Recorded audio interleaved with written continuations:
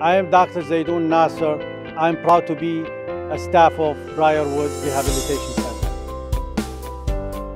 We have a great wound care team. Uh, they provide the patients with uh, all the dressing need to be done. We have a physical therapy can also help in uh, get, getting the patient the supporting surface that they, need and we have a very good outcome in terms of wound healing.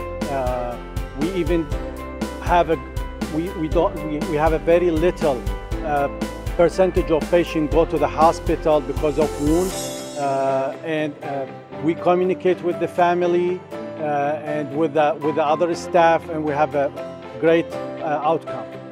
The care here is excellent. I going to more than 10 facility a week and I found find out Briarwood is one of my favorite place caring about the patient, food, uh, care, nursing, rehab, uh, physical therapy, one of my favorite places to work with. Patients here, they get everything they need.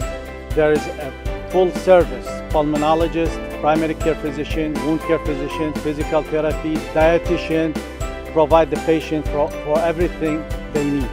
It's a friendly environment. Uh, they very well communicate with the family, with the doctors.